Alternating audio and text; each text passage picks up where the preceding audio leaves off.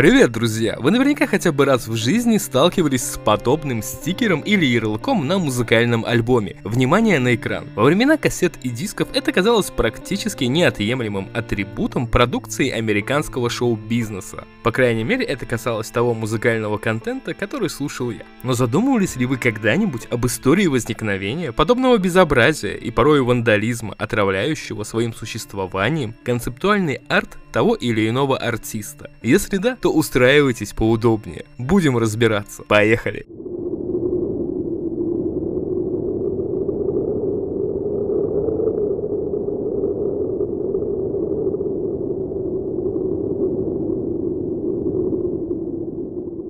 Началось все одним прекрасным днем 1985 года, когда Типпер Гор, жена сенатора Элла Гора, купила для своей 11-летней дочери новую пластинку Принца Purple Rain. Мать и дочь решили послушать ее вместе, и, как утверждает Типпер, внезапно были шокированы, когда услышали композицию Дарлинг Ники, лирики которой упоминалась мастурбирующая девушка и каитус. Вульгарная лирика смутила их обеих. Типпер, по ее словам, сначала была ошеломлена, а затем разозлилась. Где это видано, чтобы в песнях, которые могли услышать дети, дозволительно было петь о подобных вещах. Возмутительно! В это же время Сьюзан Бейкер, жена бывшего министра финансов и руководителя аппарата Белого дома Джеймса Бейкера, услышала, как ее семилетний ребенок подпевает песни Мадонны Like a Virgin. Женщина была шокирована, осознав, что о подобных непристойных вещах поют в поп-музыке. Вы, конечно, удивитесь, но параллельно с Гор и Бейкер, жена застройщика Вашингтона Реймонда Ховара, Памела Ховар обратила внимание на лирическое содержание песен, под которые она занималась аэробикой, и была неприятно удивлена, обнаружив, что ее дочь слушает подобную музыку за завтраком.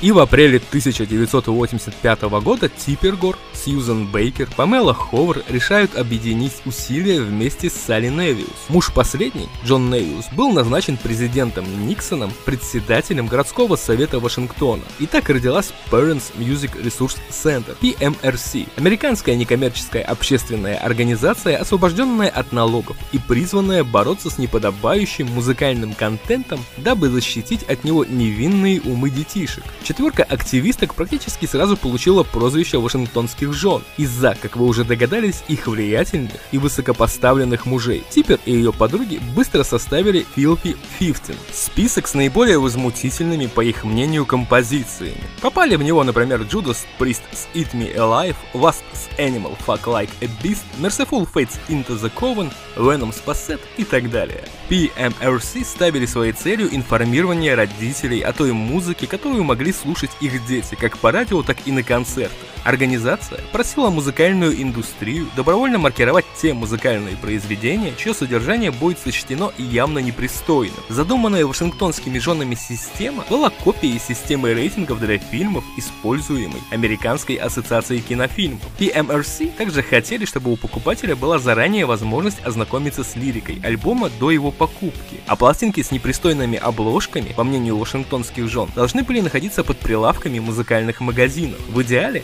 лейблы вообще должны были пересмотреть свои контракты с исполнителями, которые демонстрировали на своих шоу и записях непристойное поведение, секс или насилие. То есть, друзья мои, вашингтонские жены, сами того не осознавая, стремились к высоким советским требованиям худсоветов, в то время как в СССР, наоборот, все ближе и ближе делали шаг навстречу гласности и перестройки. Иронично. PM МРС для просвещения народных масс и всеобщей осведомленности стала публиковать ежемесячный бюллетень и рассылала его примерно 60 музыкальным компаниям, Национальной ассоциации вещателей и, что наиболее важно, Американской ассоциации звукозаписывающей индустрии RIAA, которая в то время представляла лейблы, на долю которых приходилось 85% от общего объема продаж записанной музыки в США, в то время составлявшая индустрию с многомиллиардным оборотом. Сначала ассоциация отрицательно отреагировала на все требования PMRC, сославшись на первую поправку в Конституцию, гарантирующую свободу слова. Но спустя всего несколько месяцев, а точнее 5 августа 1985 года, президент RIAA Стэнли Гортиков написал письмо президенту PMRC Пэм Ховар в котором заявил, что ассоциация согласна маркировать свою продукцию, содержащую спорное или непристойное содержание, соответствующей наклейкой Parental Advisory Explicit Content. По всей видимости, оценив вероятный ущерб от мужей вашингтонских жен и учитывая общую сатанинскую панику в США, после консультации с опытными юристами ассоциация и пришла к такому неутешительному решению. В ответном письме 7 августа Памела Ховер выразила недовольство предложением Гортикова, поскольку подобная наклейка не отражала задуманную PMRC систему рейтинга, который определялся бы специальной независимой комиссией, решавшей, какая музыка просто оскорбительна, какая сатанинская, какая сексуальная по своему характеру или иным образом нежелательная по определенным причинам. В ответном письме Гортиков прямо намекнул, что подобная система будет как минимум субъективна и непродуктивна. 19 сентября 1985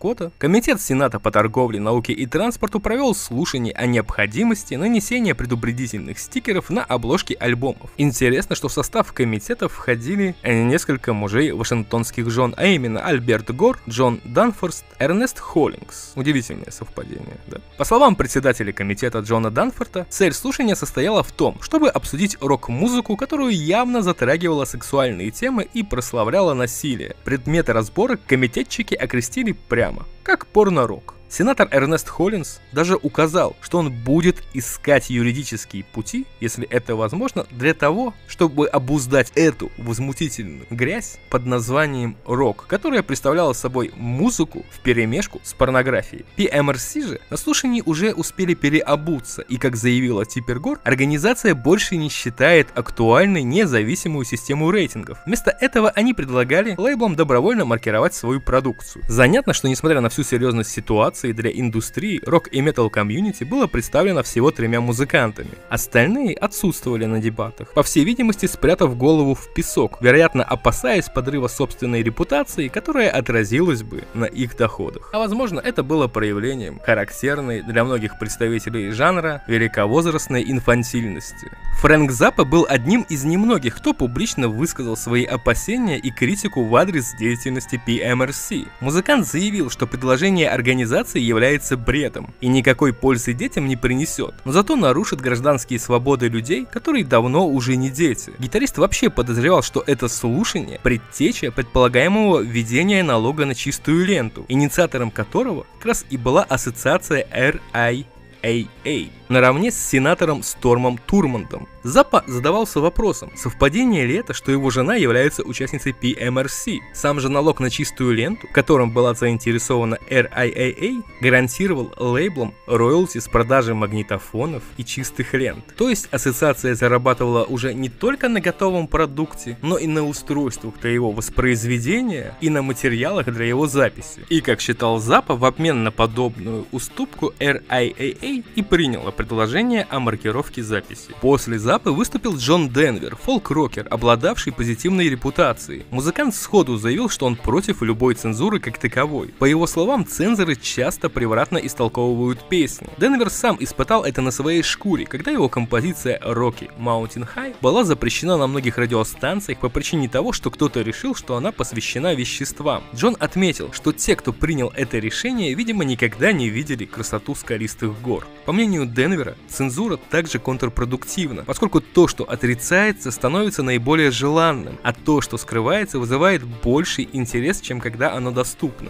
Занятно, что когда Денвер только должен был начать свое выступление, PMRC ожидали, что музыкант поддержит именно их сторону. Последним выступил Ди Снайдер из Twisted Sister. Вокалист заявил, что не поддерживает решение Гортикова из RIAA. Музыкант считал, что его музыка, как и Денвера, была превратно понята. Все его творчество, подчеркивал Ди, проникнуто его христианскими убеждениями. И весь тот негатив, садомазохизм, который был найден якобы в композициях Under the Blade и We Not Gonna Take It, был исключительно в уме Типер Гор. Ведь кто ищет, тот всегда найдет. Кроме того, Снайдер отметил, что он как родитель знает, как сложно им быть. Да, дети не всегда ведут себя прекрасно. Воспитание требует большой работы, времени и усилий. И когда говорит Ди, кто-то не вывозит и считает, что правительство должно помочь ему с воспитанием, воспитанием его детей, то он может посоветовать таким людям вообще не заводить детей. Это отмечает Снайдер проблема общества в целом. Никто не хочет нести ответственность за свои действия и действия своих детей, ища виноватых